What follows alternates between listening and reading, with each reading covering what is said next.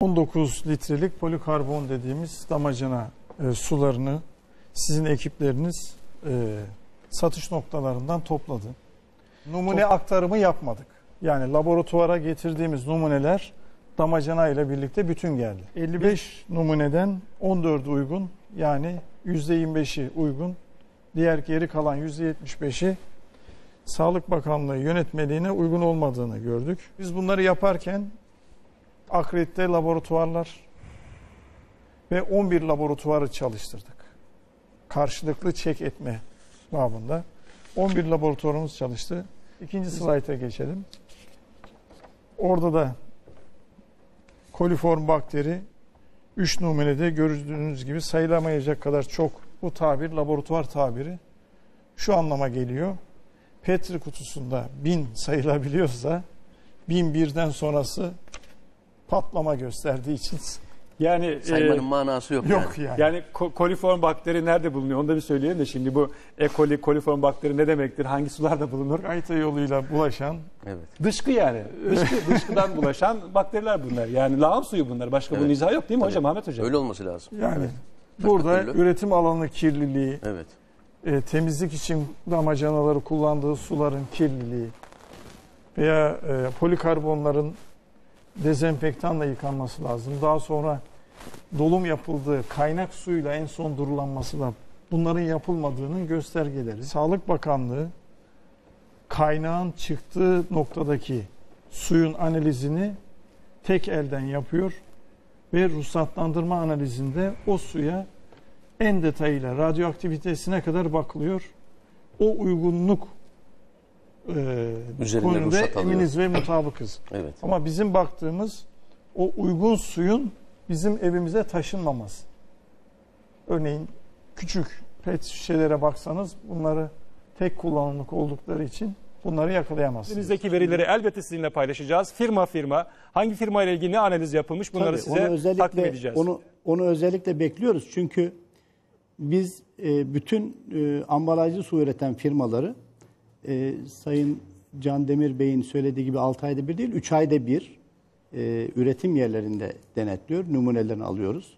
Yani sadece esasen suyun ruhsat verildiği dönemde değil, üçer aylık periyotlarla bu kontroller devam ediyor. Ama e, sahada bulunan numuneler, alınan e, örnekler gerçekten bu firmanın ürettiği su mudur? E, sizin biraz önce konuşmanızda belirttiğiniz gibi acaba kaçak bir ilave e, üretimi vardır? Oradan mı doldurulmuştur? Yoksa bu firmaların adı kullanılarak bir başka korsan birim bunları mı üretmiştir? Biz sen- üretim izni verilen, bakanlığımızca üzeri üretim izni verilen bütün su merkezlerini üçer aylık periyotlara denetliyoruz. Bunlarda eğer bir sorun çıkarsa Nedir efendim elinizdeki verileri açıklayabilir misiniz lütfen? Özellikle ilave izin verilen e, kaynağın dışında yeni kaynak ekleme olursa burada biz ruhsat iptaline de gideriz. Ancak Sayın Aksoy, elinizdeki e, veriler burada- nedir efendim? 3 ayda bir yaptığınız tahlillerde çıkan tablo nedir? Paylaşabilir misiniz Türk halkıyla? E, tabii paylaşırız. Yani bunu paylaşmakta bir mahsur yok ama burada orijinaline yakın bir taklit de yapılabilir. Biz sizden alacağımız Efendim, sonuçta bilgilerle taklit geriye dönük varsayın. olarak zinciri Sayın Aksoy, dakika, bayi bir saniye tarafından lütfen. hile yapıldığını varsayın. Neticede vatandaş bu suları içiyor. Hayır. Bizi bağlayan tarafı işin bu. Anlıyorum, Siz de anlıyorum. Halk Sağlığı Şimdi Kurum bakın- Başkanı olarak işin bu tarafına bakmanız gerekir sanıyorum. Doğrudur. Doğrudur. Ona da ona da bakıyoruz. Ee, ona da bakıyoruz. Biraz önce diğer konuğumuzun konuğunuzun söylediği gibi esasen e, barkod sistemi e, daha doğrusu çipli sistem üzerinde de çalışıyoruz. Yakında onu da inşallah bu 19 litrelik sularda hayata geçireceğiz. Kendi suları kaynak olarak e, yeterli olmayan bazı firmalar zaman zaman ilave kaynak kullanarak kaçak dolum yapabilir. Sizlerin aldığı örnekleri mutlaka onlara da tekrar göstereceğiz, göndereceğiz ve e, sizlerle beraber tekrar numune alma konusunda da ekiplerimizi tekrar çıkarma konusunda da hiçbir endişemiz, tedirginliğimiz yok. 2012 yılında bizim aldığımız örneklerde %3 civarında uygunsuzluklar var. Bu uygunsuzluklar da doğrudan ruhsat iptalini gerektirecek şeyler değil, diğer küçük ihlaller idi. Ee, daha önceki yıllarda ruhsat iptal ettiğimiz veya da ruhsatını aksıya aldığımız dönemler ya da firmalarda olmuştur. Bu yıl için böyle bir şey şu an için söz konusu olmadı ama biz özellikle bekliyoruz. Sizlerden de o gelecek bilgileri mutlaka gereğini yapacağız. Tabii Aksoy Bey güzel söylüyor. Ee, baktığı noktalar firmanın üretim noktaları. Zaten biz de onu ben cümlelerimde söyledim. Sağlık Bakanlığı radyoaktiviteye de bakıyor ve güncel kaynağı. Yani suların Ama kaynağında sorun yok aslında. Eğer ki sadece kaynaktan dolum yapılıyorsa bunu anlıyoruz bir değil mi efendim? reklam vardı. Hani sizi pistlerde görelim dediğinizde biz piste indik. Sahaya indik Sahaya yani. biz. indik. Şimdi beni tüketici olarak şu ilgilendirmiyor. Ben telefon ediyorum. Falan marka damacana su geliyor. Üzerinde etiketleri, şilingi yapılmış. Ama onun içindeki su ruhsat alınan suyun orijinali mi? Değil mi? Birincisi onu benim ölçme imkanım yok tüketici olarak. Bu sahaya inip bunların tek tek disiplin edilmesi lazım. sularından, firmaların sularından %75'inin içilemeyecek nitelikte olduğunu saptamış olduk maalesef. Şimdi e, Sayın Aksoy bakanlık adına, Sağlık Bakanlığı adına bu oranın %3 olduğunu söylüyor. E, tabii ki bakanlığın verilerine itimat ediyoruz ama şimdi stüdyomuzda bir konuğumuz daha var. Doçent Doktor Fatma Köksal Çakırlar. E, Fatma Hanım bir mikrobiyolog, e, Cerrahpaşa Tıp Fakültesi'nde çalışıyor. E, hocamızın 2006 yılında İSKİ ve İl Sağlık Müdürlüğü destekli yapmış olduğu bir çalışma var. Hocamızdan şimdi bu çalışmanın sonuçlarını alalım. Hocam siz 2006 yılında nasıl bir çalışma yaptınız?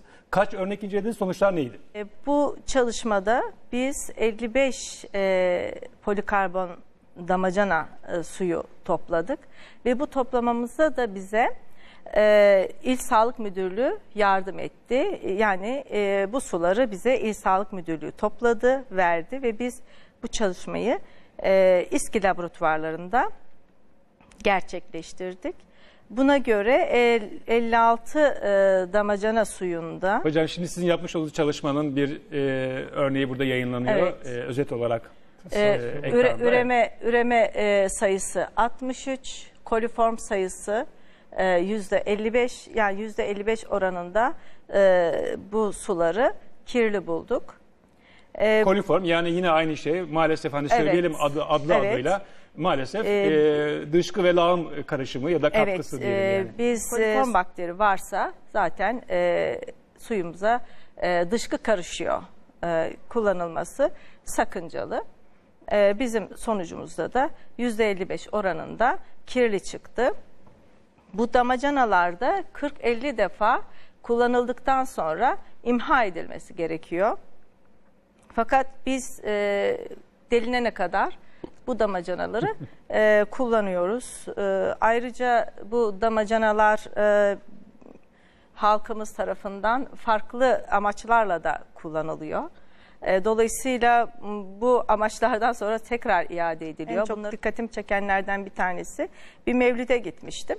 O mevlütte ayran ve pilav ikram ediliyordu. E, baktım ayranı çok güzel bir şekilde yayık ayranı şeklinde bu damacanayla sallayarak köpük köpük ayran yapmışlar.